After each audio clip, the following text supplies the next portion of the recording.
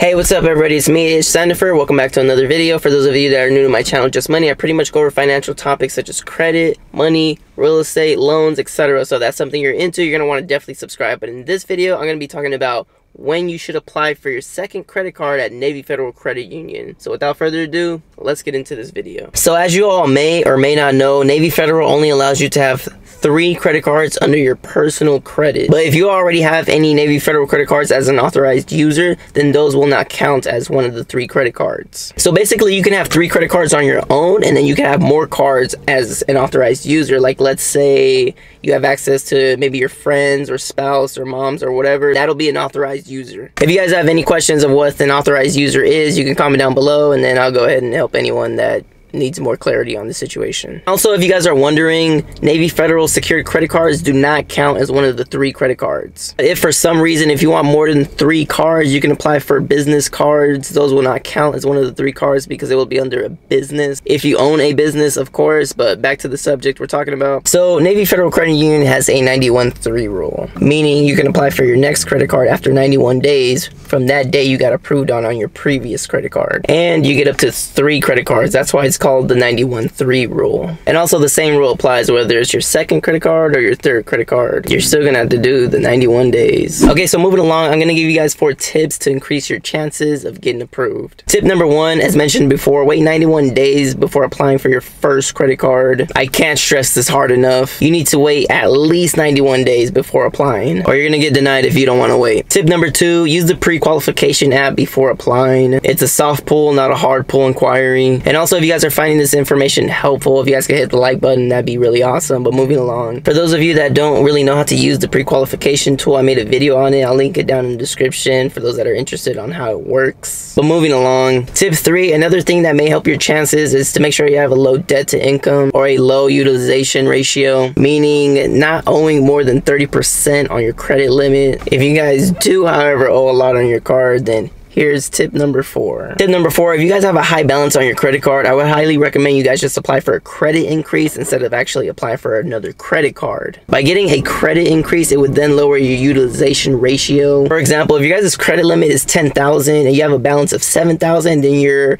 utilization ratio would be at 70%. So if you apply for an increase, and let's just say they give you a $5,000 limit increase, then that lowers your ratio to about 47%, which is closer to the 30% that you want to be at. And real quick, let me add this in. When applying for a credit limit increase request, Make sure you use your best judgment because it is considered a hard pull on your credit card. So when doing so, just use your best judgment, guys. Comment down below if you guys have any questions about utilization ratios. I'd be more than happy to get more in depth with it if you guys aren't quite understanding. But yeah, just leave a comment down below. I hope you guys found this video helpful. And as always, please use your credit responsibly. I make these videos just to like really empower you guys. So do the right thing with your credit. If you take care of your credit, your credit will take care of you 10 times more.